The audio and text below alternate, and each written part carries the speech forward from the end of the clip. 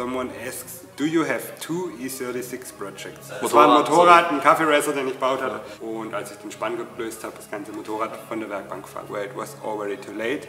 It ended me being almost in the hospital. Und ich habe mir da auch viele Gedanken darüber gemacht und ich will irgendwann in der Zukunft Kurse anbieten. Ob das wirklich mein letztes Projekt war, ob ich noch Aufträge annehme und ich war dann mit dem Auto in der Leitplanke.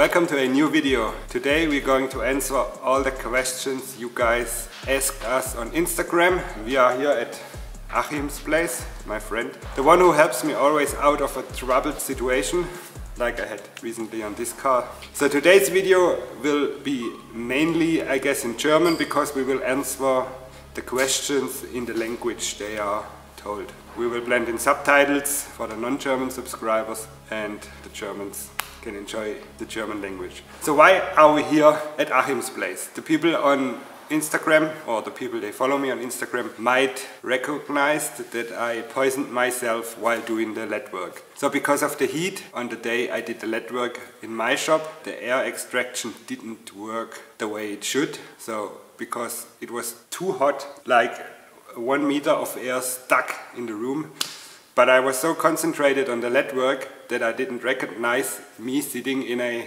almost blue cloud of poison lead air. I was wearing a mask and all the stuff that's necessary, but at one point I felt like I was a little drunk and that, and that was the point where it was already too late. It ended me being almost in the hospital while my body was fighting against the poisoning while I was stuck in my bed to get back to health. I texted Achim and he said, oh, no problem. I'm gonna catch the car from your place and continue doing the work. And that's why we landed here. So the thing is, we had short deadlines or the car should get finished at one point and that's and that was another time Achim saved me. So he helped me a lot in the past and now once again. So let's get him to sit next to me we're going to ask the questions, like I said, in the language they were asked. So I hope you enjoy our talking. So, sagt man jetzt schon was, oder? Ja, stell dich mal vor. Hi, ich bin der Achim. Ihr kennt mich garantiert schon aus der einen oder anderen Instagram-Story. Ich kenne Andi jetzt schon zehn Jahre. Zehn Jahre. Zehn Jahre. Und Dani haben wir uns damals kennengelernt. Genau, und man kann vielleicht dazu sagen, wir haben der gleiche Dachschade. Und Achim ist die Person, die mir immer aus der Patsche hilft, wenn ich mal Not am Mann habe und einen richtigen Karosseriebau-Meister brauche, auch bei der Abnahme von meinen Projekten, dass das alles Hand und Fuß hat, ist immer der Achim die verantwortliche Person.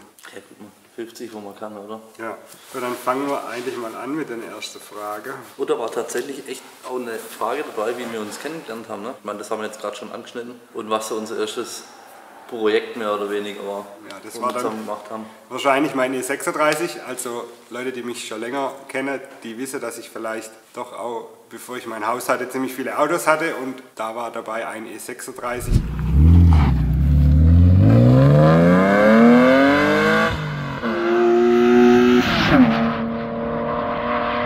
den ich komplett von Null aufgebaut habe. Also war eigentlich zu der Zeit ziemlicher Schwachsinn, weil da gab es 3,28 noch für einen bezahlbarer Preis. Ja, und eines Tages war ich dann doch mal etwas zu wild unterwegs und wegen Tire Stretch ist mir vielleicht eventuell der Reifen von der Felge gerutscht und ich war dann mit dem Auto in der Leitplanke. Das sind aber nur Vermutungen. ja. ja. Auf jeden Fall war ich an dem Tag dann so unter Adrenalin, dass ich am gleichen Tag noch den Motor ausgebaut habe, obwohl ich jetzt im Nachhinein denke, es wäre besser gewesen, das Auto zu verschrotten. Gut, du musst dazu sagen, der war ja vorne der Längsträger komplett drin. Wir haben den ganzen Längsträger getauscht, deswegen der Motor ausbaut. Ja. Und die Seitenwand hinten ums Rücklicht rum, da war ja nichts mehr da.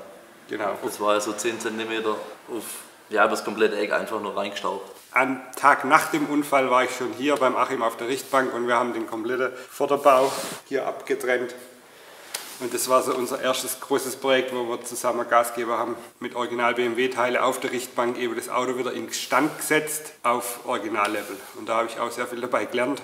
Sache, die halt eben der Achim von seiner beruflichen Erfahrung hat und ich mir so als Autodidakt dann schon auch noch einiges dazu aneignen konnte. Gut, was, was damals ja aber auch noch nicht so viel war, ne? das ist jetzt zehn Jahre her. Äh, man munkelt, ich bin über 30, also ich bin 25. Für die, wo es mir nicht glauben, es ist tatsächlich so. Ja, du warst 15, als wir das Richtig, ich war 15, bin ja damit aufgewachsen. Ja, ich komme ja aus dem Familienbetrieb. Da war ja damals schon Ferien, Mitarbeiten, das war ja alles gab es keine andere Option. Gut, und dann haben wir den Dinger da reinbaut. Da habe ich auch meinen Richtsatz gekauft von E36, weil ich damals selber E36 gefahren bin. Ja. Und da fällt mir ein, das war doch ganz gut, dass wir die Karosse, Karosse gerettet haben, weil das war der erste, wo noch nicht die Träger unten hatte, wo du noch tief fahren konntest, ohne damit die ganze Zeit aufgesetzt ist. Ja, ja. Was uns auch zugute kam beim Längsträger, also es war ein kompletter Längsträger von BMW. Von vorne, ja. Beim Reinschmeißen, weil es dann doch ein bisschen einfacher war. So, und ich suche jetzt aber meine Frage. Ja, dann kann ich das zwischendrin mal erzählen. Wir ja. haben dann auch von, von, ja, was war das, eine Honda? Das ist auch so, so ja, dummes, dummes Missgeschick passiert. Ja, aufgrund technischen Versagens, würde ich sagen, vom Wagenheber. War aber das so ein, war eigentlich Fertigprojekt und dann ist es umgefallen auf den Tank und das Auto musste, ich glaube, drei Tage später, vier Tage später. Auto, Motorrad. Das, äh, Motorrad, das war ein Motorrad, sorry. ein Kaffee Racer, den ich gebaut hatte. Ja. Für Marius von Kemper, könnte man vielleicht auch mal einblenden. Der war fertig auf der Werkbank und als ich den Spanngurt gelöst habe, das ganze Motorrad von der Werkbank gefallen. Da haben wir dann auch noch über Nacht mehr oder weniger den Tank repariert. Das Moped ging ohne Tank hoch. Genau, weil das musste auf Essen Mutter schauen. Das ja. war kurz davor. Ja, das war dann wieder so eine Situation, wo der Achim mir der Arsch gerettet hat. Das war auch tatsächlich mein erster Einstieg damals in YouTube. Ja. stimmt. Ich bin ja da absolut nicht aktiv, das kann man, ja, kann man ja nicht behaupten. Ja, den Tank ausgebaut, lackiert und der ging dann, ich glaube, einen Abend vorher per Express-Kollege ging das Ding noch hoch nach Essen auf Motorshow. Und dann hat es auch wieder funktioniert. I will start with the English question, just to be not German all the time. Someone asked, when will it be finished? So, as you see, it is finished now. And there was another English question of how many hours I went or went into the project. Um, and let's say I stopped counting at 300 hours. So it was quite amount of work and time that went into just basically four wheel arches. Someone asks, do you have two E36 projects? One from JP Performance and one from and one from Colorblind Visuals. Yes, that's something some people get confused about because they are like similar, but the one from Nobby is more like a GTR version and this one now is more like a what could a stock OEM BMW E36 M3 could look like because the uh, stock M3 wasn't a wider version, so it looked exactly the same like a 316. So there are two, one from Nobby, the GTR style is still to finish. We now have almost fitting 3D printed parts to get the transition between the bumper and the main body and these parts will basically uh, be needed to start on the second side because they will be mirrored on the computer. And when I start the other side, I will take the mirrored 3D printed piece and put it on the car and that's basically my start point for the, for the other side to get it symmetrical as possible. If you are sad that this project is over, there will be another BMW E36 build with videos we will upload. So we have an another question in English. Someone asked, is this legal in Germany? I guess he means the white body thing and, and, and widening the, the main structure of the car. And this question we let Achim answer. And he can decide in which language he wants to answer it. So I decide to answer the question in German because my English is not so good in the technischen side. okay. ähm, zum einen kommt es darauf an, was habt ihr für einen Gutachter. Ne? Wir verbreiten das Auto im Blech und da macht es Sinn mit eurem Prüfer, wo das Auto später auch alles eingetragen werden soll, die Rücksprache zu halten. Prinzipiell ist das kein Thema. Ja, das ist ja alles im Blech. Wir haben ja unsere Vorgaben mit Laufläche, wo abgedeckt sein muss. Und wenn wir das schon mal einhalten können, wüsste ich jetzt nichts, was, was Probleme gibt. Ne? Ich meine, mein Vater hat damals auch eine Amanda gehabt. Ja, da gab es so nirgendwo so Verbreiterungssätze. Das Auto wird auch breiter, das ging auch, also kann das schon mal kein Thema sein. Also grundsätzlich würde ich das mit dem klaren Ja be be beantworten. Weil wenn ich sehe, was, was, wir haben ja auch so Analogbilder noch von Anfang der 80er, Ende der 70er, da wurde ja sowas auch schon im Blech verbreitert. Ja. Und das ja. wurde auch eingetragen. Ja. Jetzt ja. kann man sagen, hey Leute, pass auf, das ist schon 40 Jahre her. Ähm, aber grundsätzlich sollte da nichts im Weg stehen. Ne. Das sind ja keine losen Teile, ist alles fest. Genau. Und ich habe ziemlich viele auch Fragen, äh, auf die ich eigentlich nicht eingehen wollte, wo die Leute fragen, ob das wie das aussieht mit TÜV, weil das muss jedem Einzelfall klären. Aber was meine Grundantworten sind, die ich immer sagen kann zum TÜV, solange das Ganze nicht breiter wird als der Spiegel, also die eingetragene Fahrzeugbreite sich im Fahrzeugschein nicht ändert, ist schon mal leicht das zu machen. Ich meine, es wäre auch möglich, die Fahrzeugbreite zu ändern, aber das zieht dann halt einen größeren, äh, das zieht dann halt einen größeren, äh, eine größere Untersuchung oder TÜV-Abnahme äh, mit sich. Und ähm, solange das Ganze stabilitätstechnisch nichts an der Struktur vom Auto ändert. Also ihr könnt jetzt nicht den Innerradlauf rausschneiden und die Seitenwand rausschneiden und dann da was hinschweißen und die, die Seitenwand und den Innerradlauf unverbunden lassen. Das muss wieder verbunden werden, das muss eine gute Struktur haben, es darf nicht streifen, es darf keine scharfe Kante haben und wenn es handwerklich in, der, in dem Niveau ausgeführt ist, dann ist das besser als ein Serieauto oder bestimmt so gut wie ein Serieauto von der Stabilität und dann spricht da eigentlich nichts dagegen. Und wenn ihr das eintragt, dann ist das meistens eine Eintragung in Verbindung mit Fahrwerk, Felge und Radlauf. Es ist also im Prinzip jetzt nicht groß was anderes, wie wenn ich eine breite Felge habe und die Radlaufkante Birtel und dann im Schein steht, äh, keine Ahnung, BBS-Felge 9x17 in Verbindung mit äh, Fahrwerk, KW äh, auf der und der Höhe und dann kann noch die Klausel rein Radläufe angepasst. Also ja, das sind wir schon wieder an dem Punkt, da kommst du mit Radläufe oder mit Räder zum TÜV und sagt, hey, das streift, ja, was mache ich jetzt? Ja, entweder machst du kleine Felge drauf oder du holst halt den Radlauf raus. Genau. Also ich habe da auch noch nicht, wir haben ja schon sich E36 hinten auch im, sag ich mal, im kleinen Verhältnis verbreitert, wo es dann bloß 3-4 cm war und da war das auch nie ein Thema, mhm. dass man sagt, hey, pass auf, ich habe da jetzt einen Radlauf reingeschmeißt. Das heißt, das ist eigentlich, also, das müsst ihr im Einzelfall mit eurem Prüfer klären genau. und ja, es ist, it is legal in Germany. Gibt es einen Restock für Shirts, beziehungsweise ist was Neues geplant? Ja, also mein Online-Shop will ich weiter befüllen. Gerade habe ich mich nur ein bisschen, um es ehrlich zu sagen, verkalkuliert, weil ich dachte, jeder findet es toll, einen Pulli mit einer Vespa drauf zu haben. Jetzt habe ich hier ganz viele Pullis. Ganz viele sind es nicht mehr, also sie verkaufen sich schon, aber die müssen sich jetzt erstmal abverkaufen, weil ich eben das Budget, das ich dort habe, dann wieder reinvestiere für die nächste Sache. Sind die nächste Sache geplant und da wird auch demnächst was kommen. Also Leute, kaufen. Ganz wichtig. Ja. Dass wir weitermachen können. Ich habe ja auch eine Frage, gerade zum, zum Thema Ausbildung wieder. Äh, was hast du für eine Ausbildung? Also ich habe damals, also es ist ja eigentlich in der Ausbildungs- Verordnung heißt es dann nicht Karosseriebau, sondern Mechaniker, Fachrichtung Karosserie Instandhaltungstechnik. Ja, da okay. gibt es dann noch äh, Fahrzeugbau und so weiter und so fort. Ich habe das damals in der Instandhaltung gemacht. Zum direkt die nächste Frage war, ist die Ausbildung schwierig? Ausbildung geht, ich meine, du musst oder ihr müsst das technische Verständnis haben fürs Blech. Das zum einen, wenn man seinen Job gut machen will, sollte man absolut autoaffin sein. Ich sehe es gerade, wir suchen im Geschäft auch ähm, Auszubildende, auch so Karosseriebau. Wenn da einer Bock hat, mit mir zu arbeiten oder ins Team zu kommen, sind ein ganz, ganz frisches Team. Gerade an die Ausbildung zum Mechaniker für Karosserie und Instandhaltungstechnik, da ist natürlich, so wer bei mir dann die Ausbildung machen wollen würde, da ist sowas auch mit dabei. Ja, also das ist nicht nur ja. Kotflügel tauschen oder so, wir sind schon gewillt und machen das auch so, viel auszubauen. Ja. Genau, also Schadet falls nicht. jemand einen Ausbildungsplatz sucht und auf die Frage zurückzukommen, ob wir ausbilden, der, der Achim bildet tatsächlich aus in der Firma, in der er arbeitet. Und dann gab es noch weitere viele Fragen, ob man bei mir Kurse machen kann, ob man Praktikums machen kann, ob es eine Möglichkeit gibt, äh, mit... Äh, dass ich quasi irgendwie mein Wissen weitergebe. Und ich habe mir da auch viele Gedanken jetzt drüber gemacht und ich will irgendwann in der Zukunft, also noch nicht terminiert, ich muss jetzt erstmal an den Punkt kommen, dass ich irgendwann so eine Halle habe wie hier, wo ich eben auch, ja, sagen wir mal, gut arbeiten kann und es nicht in meinem mein Platz ist, wo ich wohne. Dann ist mein Plan, dass ich tatsächlich Kurse anbiete. Ich habe sowas im Kopf wie ein Radlaufverbreiterungskurs, ein allgemeiner Blechbearbeitungskurs, ein Kurs, wie baue ich einen Kaffee-Racer-Heck, wie baue ich einen Motorradtank, Aluschweiße, Alubearbeitung. Da habe habe ich auch schon mit Leuten gesprochen, wie zum Beispiel Erik Alulöffel. Der bietet ja zum Beispiel Ausschweißkurse an und ich kann mir da durchaus vorstellen, dass es da eines Tages einen Kurs gibt, wo quasi fünf bis acht Teilnehmer sind.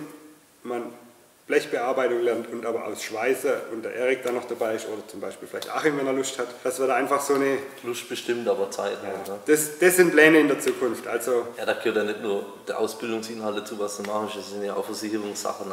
Ja. Ähm, da muss ja auch, genau. das ist ja nicht so, wir treffen uns jetzt irgendwo in der Gartenhütte, ihr bezahlt da 250 Euro für einen 4-Stunden-Kurs und macht das. Das so einfach ist dann halt nee, genau. auch. Also das an was ich denke, sind Kurse für Hobbyleute. Also wenn jetzt jemand einen Oldtimer restauriert, wenn jemand gern aus ein Auto selber verbreitern möchte. Wenn jemand schon schweißen kann und die Tricks wissen will, wie man eine Verbreiterung macht, wie man das angeht, wenn jemand ein Motorrad umbaut. Also für Hobby will ich irgendwann Kurse anbieten und aber auch vielleicht professionelle Leute mit reinnehmen. Das soll in meinem Kopf jetzt so drei bis fünf Tage Kurse sein, wo man eben gebündelt was lernt. Aber wie gesagt, das wird nächstes Jahr noch nicht passieren, vielleicht das Jahr drauf. Schauen wir mal, wie es weitergeht. Und wenn ihr eine Ausbildung machen wollt im Bereich Karosserie und ihr vielleicht aus der Gegend seid, wo wir wohnen, dann könnt ihr dort Achim fragen. Er ist tatsächlich Karosseriebaumeister und sogar Ausbilder in seinem Betrieb, wo er arbeitet. Genau. Also wenn ihr da irgendwie eine Ausbildung machen wollt, wir sind in Kralsheim, das Automobilforum Stegmeier. Ganz junges, cooles Team. So, nächste Frage. Jemand fragt, hast du schon mal einen Porsche gemacht? Tatsächlich ist das so ein bisschen mein Maßstab oder mein, ja, am liebsten würde ich glaube ich nur Porsche machen. Und ich habe tatsächlich auch schon einen gemacht. Das war ein Cayman damals vom Nico. Da haben wir auch zusammen geschafft. Genau, da ist, auch, da ist dann auch recht knapp geworden Ja. und dann haben wir das, stand das Auto auch wieder. Ja, das stand vorher schon bei mir. Der war auf der Richtbank bei mir. Ja, Tatsächlich. genau, der hat den Seitenschaden, der war bei dir auf der Richtbank. Dann, Dann ging er zu dir und dann ging Genau, er wieder ja. zu mir. Ja. Genau, also wir haben schon Porsche gemacht. Ich träume eigentlich von Porsches, äh, weil es einfach Porsche schon immer so ein Kindheitsding ist. Ist, ist das Auto, das ist auch technisch und, technisch und optisch, würde ich jedem Lamborghini, Ferrari oder sonst was vorziehen. Das ist so, Porsche hat ja wirklich die Faszination. Aber aus der Verbreiterungssicht her nochmal, um darauf einzugehen, ein Porsche hat hinten die Seitenwand wie ein Kotflügel vorne. Also ein Porsche bis zum 993 ist aufgebaut, im Prinzip wie ein Käfer, also falls jemand einen Käfer kennt, da kann man ja die Kotflügel wegschrauben. So ist eigentlich ein Porsche auch, nur dass die Kotflügel und die Seitenteile im Prinzip dran geschweißt sind, aber das hat keinen Innerradlauf. Das heißt, man kommt an das Blech, das man bearbeitet, wie an einen vorderen Kotflügel von innen dran und kann dann die beste Qualität abliefern, die es gibt, weil man eben das richten kann und nicht wie hier auf Verzinner und so Sachen angewiesen ist, um das nach am Ende in eine gute Form zu bekommen. Kann man gleich dazu sagen, die sind damals auch so verbreitet worden, die Turbos. Genau. Also wir sprechen jetzt nicht hier vom 2000er Baujahr Porsche, ja, Ja. so wie den Cayman, wo wir gemacht haben. Das ist dann schon die frühen Porsche. Ja, bis und die zum sind Luftgekühlte waren genau. die alle genauso. Und die waren halt hinten offen und das wurde dann auch, wenn wir es wieder vom, vom Schweißverfahren haben, äh, vom, vom Hartlöten, ne, das ist dann die nächste Stufe zum Weichlöten, das wurde autogen geschweißt. Ne, beim Autogenschweißen ist vergleichbar mit, Mit Wegschweiße. mit Wegschweißen, nur dass es halt ähm, mit Flamme ist. Das zum Thema Porsche. Und jetzt machen wir vielleicht noch zwei, drei Fragen. Dann haben wir hier mehrere Fragen, die alle in die gleiche Richtung laufen. Und zwar, ob das wirklich mein letztes Projekt war, ob ich noch Aufträge annehme, ob ich Aufträge nur für besondere Leute annehme, für Kumpels oder für jedermann und wie der ganze Stand so ist. Das hier, es ist nicht wirklich mein letztes Projekt, aber es ist das letzte Projekt in dem Status, dass ich davon, ja, dass ich darauf angewiesen bin, damit zum Teil meine Lebenshaltungskosten zu decken so ein Projekt wie das hier, wo jetzt tatsächlich über 300 Stunden drin stecken, ist absolut nicht wirtschaftlich. Was würde ein Karosseriebauer in 300 Stunden verdienen können? Wenn, wenn wir jetzt nehmen wir mal den Versicherungsstundensatz, wo man gerade so, ist natürlich regional unterschiedlich, wir sind bei 164,90. Genau, jetzt rechne mal 164 mal 300. Ich denke, realistisch wird irgendwo, wenn wir um die 100 sein, aber wir müssen mal rechnen mal allein die 300 durch 40 durch eine, durch eine Woche. Das wären theoretisch 36.000 Euro brutto. Also wenn man das Ganze im selbstständigen Verhältnis macht, dann hat man davon vielleicht 17.000 auf der Hand, muss sich aber noch privat versichern nachher tun. Das heißt, das Ganze geht einfach nicht auf. Das heißt, ich möchte an einen Punkt kommen, wo ich irgendwas anderes habe, um meine Lebenshaltungskosten zu decken. Deswegen die eine Möglichkeit, ich gehe in die Industrie und die andere Möglichkeit, irgendwas mit YouTube läuft, dass ich eben mein Basic fertig habe und sowas dann als Hobby machen kann, ohne dass ich davon abhängig bin. Weil sobald man dann den Druck hat, dass man weiß, in drei Wochen sollte ich eigentlich damit fertig sein, weil ich müsste irgendwie mal gucken, dass ich wieder ein bisschen Material aufs Konto bekomme, weil mein Hauskredit und so weiter abgeht. Genau in dem Status ist das das letzte Projekt. Das heißt, ich mache jetzt erstmal andere Sachen, kleinere Sachen, bin noch am überlegen, wie es weitergeht, bin eigentlich mehr oder weniger auf der Suche nach einem Hauptjob, vielleicht auch nur in 80 Prozent, dass einfach mein Kopf frei ist und ich sowas mit einem freien Kopf machen kann und eben nimmer in der abnormale Größe. Das ist mit letztes Projekt gemeint und es wird auf jeden Fall noch weitere Projekte geben, aber im Idealfall eigene, eigene Autoprojekte. Ich möchte meine Hobbyzeit dann lieber in mein eigenes Projekt stecken und nicht in Kundeautos einfach, sage ich mal, ewig viel Zeit als Hobby investieren. Und um euch die, irgendwann die Möglichkeit zu geben, dass ihr trotzdem vielleicht irgendwie zu Breitbauradläufe kommt, will ich eben diese Kurse anbieten, weil es garantiert eine große Menge an Leute da draußen gibt, die das einfach selber hinkriegt, wenn man denen erklärt, wie, was und wo. Weil ich sag mal, wer Rostreparatur machen kann und eh so im Hobbybereich unterwegs ist, der kann mit richtigen Tipps selber sein Auto verbreitern. Man kann klein anfangen und es größer werden. Das heißt, das ist so eine Art, wie ich mir vorstelle, dass ich dann trotzdem was zurückgeben kann äh, an die Community oder an die Leute, die das Hobby genauso lieben wie ich, eben sich die Projekte selber zu bauen.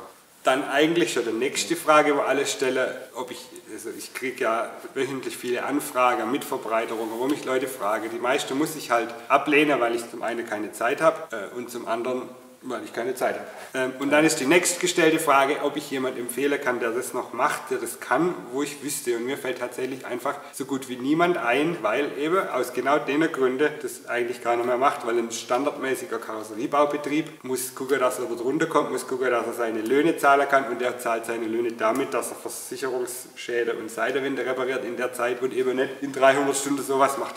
Das ist de facto einfach so das ist ja genauso, wenn dann Ausschuss einer dann mal fragt, ob ich irgendwie was machen kann. Springt man mal ein, wenn es wirklich, wirklich dramatisch ist, macht man wieder ein E36 Radläufer rein. Das läuft bei uns jetzt mittlerweile wie Spätzleschiebe. ja. ja. Zum Beispiel ein eigenes Projekt. Da draußen steht mein Vito, den ich schon seit eineinhalb Jahren eigentlich anfange will umzubauen. Und sage ich mal, hätte ich jetzt von den 300 Stunden, die hier drin stecken, nur 100 benutzt, wird der Bus schon fertig. Und das ist genau das, was ich damit sagen will. Ich will wieder an eigene Projekte vorankommen, mein Vito machen, mir wieder einen Oldtimer kaufen. Ich habe noch viele Motorradprojekte zu erledigen. Das heißt, es war das letzte Projekt, ja, in dem Status Hobby. Es gibt weiterhin Projekte bei mir, aber es gibt nicht mehr Projekte, die in dem Umfang sind. Oder eben, wenn es jetzt zum Beispiel ein Porsche wäre oder irgendein klassischer Rennwagen. Da kommen wir dann die Ausnahmen wieder. wo dann aber eben gerechtfertigt wäre, dass man da 200 Stunden reinhängt und auch eben 200 Stunden halt in dem Fall vielleicht 20.000 Euro sind, die dann den Wert des Autos steigern oder zumindest der Besitzer nicht 20.000 Euro in den E36 steckt, der 10 wert ist. Da kann man ja auch dazu sagen, das war ja auch wieder ein Lernprozess jetzt auch für dich. Ja, ich fand es das, das perfekte letzte Projekt. 300 Stunden quasi gelernt. Genau, gelernt, so sehe ich es auch. Du machst jetzt was, da hast du 10 Stunden überlegt, beim nächsten Mal brauchst du eine Stunde dafür. Ja? Eine Frage, eine letzte Frage beantworten wir noch oder machen wir noch. Und zwar haben mehrere Leute gefragt, warum machst du YouTube auf Englisch, mach doch lieber wieder Deutsch. Wird es wieder Deutsch werden? Nein, es wird so Englisch bleiben, aber es wird weiterhin vielleicht solche Videos geben. Also meine Intention ist niemals zu tun, als wäre ich ein englischer YouTube-Kanal oder irgendwas. Nein, ich bin einfach ein deutscher YouTube-Kanal, der auf englische Sprache zurückgreift, weil das halt eben die meistgesprochene Sprache der Welt ist und weil der Content, den wir hier machen, auch mehr oder weniger ein bisschen dieses, ja, was ich damit rüberbringen will, ist dieses traditionell deutsche Handwerkstum, das leider ausstirbt. Und das stirbt aber aus dem Grund aus, weil es fast keine Leute mehr gibt, die mehr tun, als sie müssen. Und das ist das, was früher das deutsche Handwerk ausgemacht hat. Es war nicht der Fleiß, es war der Fleiß, dass die Leute mehr tun, als sie müssen. Bestes Beispiel dahinter, äh, sagen wir mal 200 Stunden mehr getan, als ich musste. Ähm, und in dem Fall ist das mein Weg, um der Welt das wieder ein bisschen beizubringen. Und aus dem Grund mache ich das Ganze auf Englisch, dass man eben von überall auf der Welt sehen kann, was hier in Deutschland passiert. Und ich mache das nicht, weil ich irgendwelche Leute ärgern will damit oder ich denke, ich bin was Besseres oder so tun will, als würde ich einen englischen Kanal haben. Nein, es ist ganz einfach der Grund, weil die Sprache die deutsche Sprache halt nur 0,1% der Weltbevölkerung spricht und Englisch einfach 17%. Das zu dem Thema. So, let's end this video here. Sorry for all the English subscribers for me speaking so much German in this video, but like I said, that's what we are. We are Germans and we do the English language to spread our to spread our work all over the world. Bye. Achim, sag mal was. Ja, ich habe das letzte Wort. äh, ja, was soll ich groß sagen? Äh, guckt, dass er geradeaus lauft, macht das, was euch Spaß macht und gebt Gas. Und wenn ich dabei bin, wird auf jeden Fall Deutsch gesprochen. okay. So if you like the video, leave a comment and basically leave a comment uh, if you like Achim being in the video and the, the technical part of explaining some stuff and should we do more videos with Achim. Bye. Ciao, ciao.